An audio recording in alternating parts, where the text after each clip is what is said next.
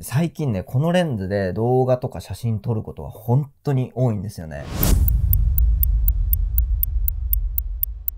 サムネイルの写真も、家族の写真も、あと建物の写真とかね、あと Vlog、B ロールなんかもね、本当にこのレンズばっかり使って撮影してます。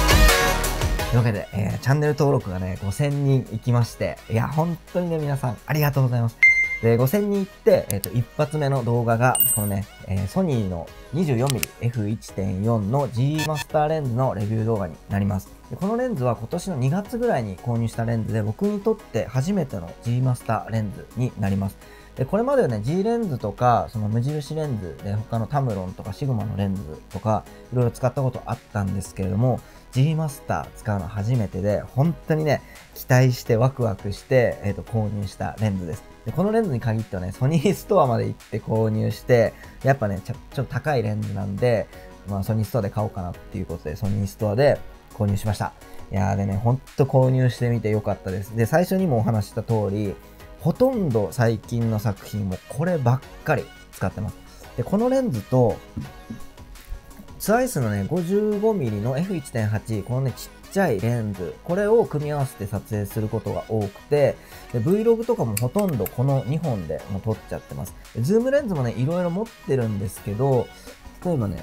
タムロンの2875のレンズとか、あと、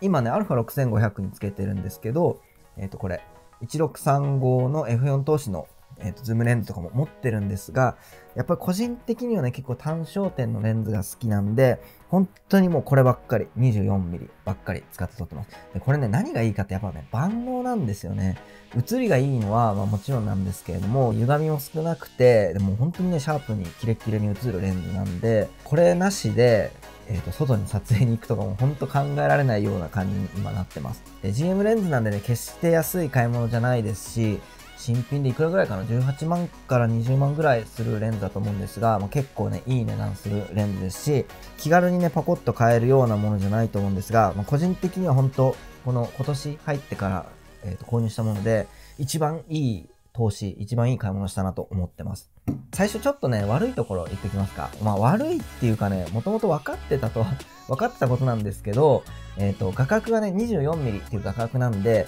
手持ちで Vlog で撮影、Vlog として撮影するにはちょっと狭いです。Vlog スタイルってね、大体みんなこんな感じになると思います。こんな感じで、で、ここにカメラつけて、もしくはね、ここに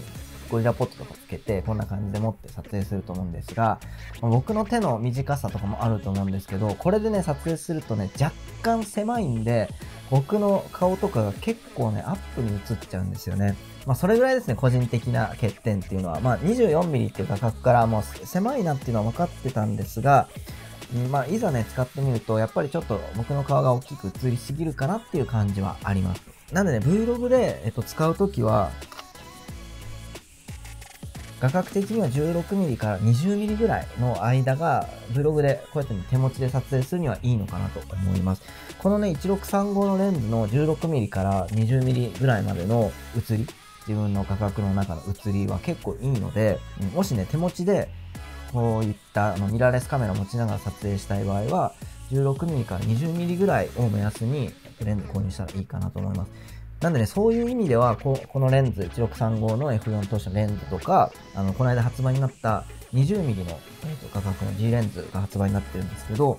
そういうレンズがね、えっ、ー、と、Vlog 向きにはなるのかなと思います。まあ、この 24mm のレンズでも全然 Vlog 撮れるんですが、まあ、若干ちょっと狭いかなっていうところだけ押さえといてもらえればいいかなと思います。じゃあ、こっからはね、もう、好き好きタイムまた行きます。もう、ほんとこいつめちゃくちゃいいレンズなんで好きなところしかないんですが、まず行ってきましょ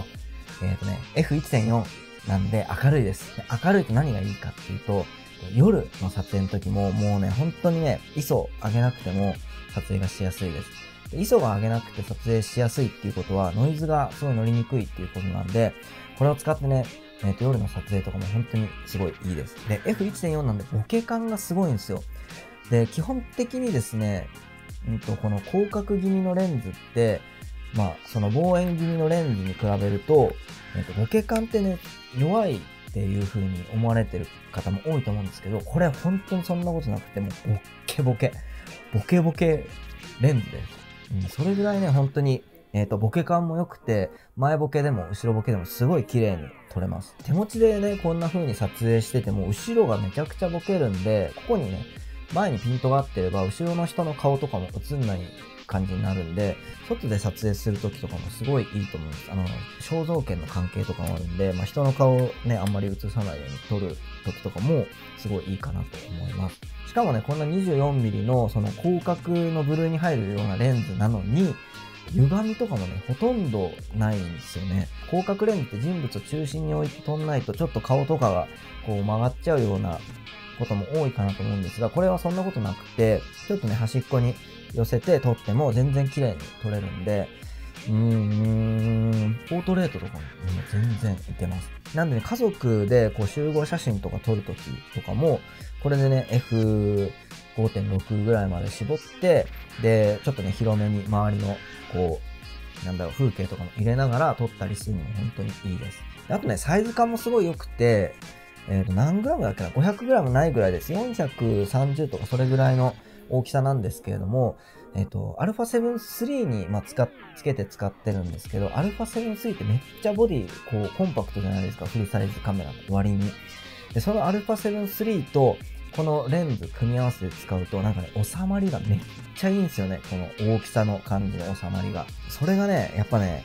もうやっぱソニー合わせてきてるなって感じがすごいします。ちょっと大きいレンズだと、その α7 III のコンパクトなボディに、ちょっと重めのレンズ、例えばね、今、ちょっと 40mm の、えっ、ー、と、シグマのアートレンズ、今使ってるんで、ちょっとお見せできないんですが、よいしょ。例えばね、これもシグマのアートレンズで、これもね、かなり重たいんですよ。1キロ弱ぐらいだと思うんですけど、こういうね、ちょっとでかくて重たいレンズなんかをつけちゃうと、フロントヘビーになっちゃって、ソニーのボディの重さとちょっとね、釣り合いにくくなっちゃうんですよね。なんでね、こう、レンズのその重量とか大きさも、そのカメラの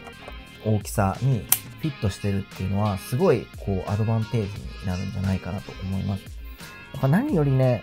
あの、外に持ち運びやすいし、持って行きたくなるサイズ感っていうのが、うんと、レンズ結構重要なんで、うん、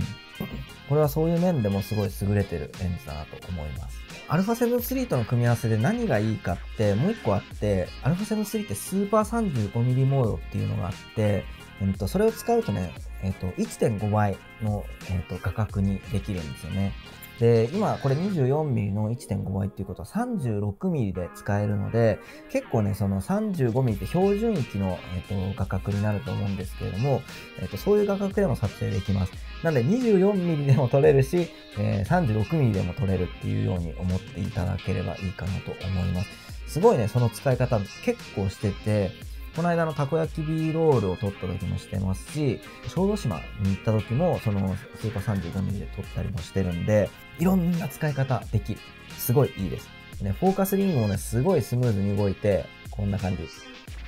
こんな感じ。こんな感じ。すごいね、スムーズに動いて、マジで言うことないな。あとね、ここ。フォーカスリングもね、ここについてるんですよ。あんまりないでしょ、こういうパターンのレンズって。で、フォーカスをレンズ側でも決められるし、カメラ側でも決められるんで、まあこれもね、結構便利っちゃ便利です。で、た、ただね、たまに、なんかこう、動いちゃって、F16 とかになってる時とかあるんですよね。あ、めちゃくちゃ暗いじゃんてなってる時があるんで、まあそれだけちょっと注意が必要かなと思います。あとね、ここのクリックオンっていうのかな、クリックをオフにすると、フォーカスリングがね、こう、滑らかにこう動くようになるんですよね。カチカチカチっていう音がなくて、クリックオンにすると、こう、わかる。カチカチ音鳴るんですけど、オフにすると、音がなんなくなるんで、まあ、動画撮ってる時とかね、これいいですよね。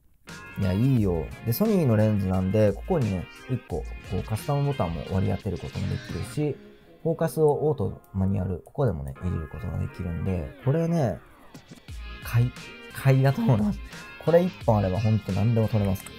僕の2020年ベストレンズの中の1本になるかなと思います。でソニーのレンズ、E マウントのレンズ、本当にいいレンズばっかりで、なんか今まで結構いろんなレンズ買ってきたんですけど、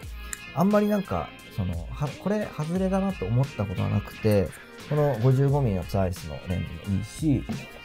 85mmF1.8 このレンズもいいんですよ。これ5万円ぐらいで買えるレンズなんですけど、これもすごいいいし、なんかね、E マウントのレンズ本当にいいものばっかりで、シグマのレンズもいいし、タムロンのレンズもいいし、もう言うことない。もう全部いいです。でも、その中でも24、これ G マスターほんと群を抜いていいんで、これからもね、これをいっぱい使って動画撮っていこうかなと思います。そんなわけで、えー、本日は、うんと、24mm の G マスターレンズですね。えー、僕が本当に、えっと、気に入って最近使ってるレンズをご紹介しました。これからもね、このレンズをたくさん使って作品とかいっぱい撮っていきたいなと思いますので、今後もない限定でよろしくお願いします。じゃあ、今日の動画は以上になります。この動画いいなと思ったら、グッドボタン、チャンネル登録ぜひよろしくお願いします。あと、こんな動画撮ってほしいとか、あと、応援メッセージなんてあったら、コメント欄にコメントいただけると嬉しいです。じゃあまた次の動画